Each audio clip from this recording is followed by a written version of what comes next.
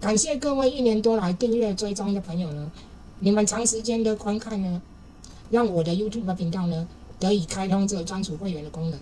那我可以坦白说，YouTube 的会员功能本身没有什么实质作用，但是你捐献的一小步呢，是支持重度生障者生活的一大步，也是打造一个成功的案例，让我们生障者呢，就算在家也可以有生存的空间、生活的管道，是对生障者自立生活的一一份助力。那各位也可以按影片下方的超级感谢，用每个月一杯饮料的钱呢，来支持我们，鼓励我们，让我们有创作更新的动力，也让我们有生活的空间。好，各位好啊！今天我们来跟各位介绍一个非常好用的固定角色 lora 叫做 Next Scene。那这个 Next Scene Lola 呢，它就是说呢，你给他一张参考图，然后呢，我们用 AI 呢去生成故事。的分镜这样，然后它出来呢，角色就会非常固定的哈。像，然后呢，我现在就是说做了一个系统提示值哈。那我这个系统提示值是怎样呢？我在 Google 的 AI Studio 给他一张图，叫他给我五个故事画面啊。然后写好之后呢，他这这个这个呢，我再叫他整理好，让可以复制贴上。好，我就把它复制过来，这样，然后我们就可以执行去生成五个画面了。那同样的哈，豆包，豆包我也做了这个系统提示值哦，一模一样啊，也是可以的哈，也是给它图，然后呢，生成这个系统提示值，然后呢，再叫它整理这个那个 scenes，然后呢，它整理好之后，你就复制贴过来就好了。那我来执行一次给各位看哈。前面两个 Lola 呢，我们在以前的影片都有讲过了，所以实际上它只是多挂了一个新的 Lola，是那个现实的 Lola。我们现在执行，好，我们来看结果哈，结果非常的不错哈，可以看到哈，五个分镜画面都有了。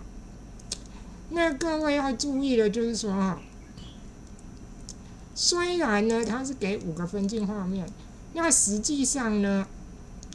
第一个分镜画面我们是不会用的啊，我们实际上呢都是因为第一个分镜画面都是描述第一帧，那我们实际上呢，如果在做首尾帧的话是，一二放一起，然后就是用第二个描述，然后呢，二三放一起，放第三个描述，这样以此类推哈。那我们可以用我们之前讲过的这个。这个工作流啊，首尾针啊，往二点二的这个首尾针啊，下去执行。哦，我们可以用这个首尾针下去执行。我们也可以跑一次首尾针给各位看看。因为我我的显卡并不是很顶级的啦，所以我尽量不会在自己的电脑跑这种影片啊。我还是尽量使用现成的这样。那我就是跑一次给各位看。基本上就是这样使用。好，然后呢，我们所有的照片出来呢，我们就可以再把它做丢到这个万二点二的首尾针哈，就做这种延续生成的故事哈。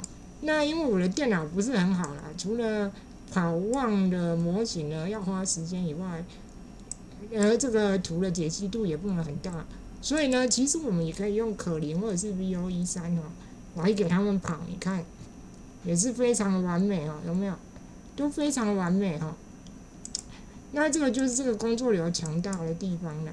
那最主要呢，最主要呢，就是说呢，它这个系统提示词啊，我会给各位哈，看你各位自己喜欢用 Google AI Studio 还是豆包哈，然后自己就是复制贴上哈。那豆包呢，在这里哈，AI 机器人这里。按建立，啊，那你就可以自己去建立这个系统提示词哈，贴在这里就好，贴在这里就好。那 Google AI Studio 呢，就是贴在右边这里有一个 System Instruction 这个系统指令，啊，你就把它贴在这里，这样就可以用了哈。好了，如果觉得我的影片对各位有帮助的话，请帮我订阅、分享、按赞，谢谢各位。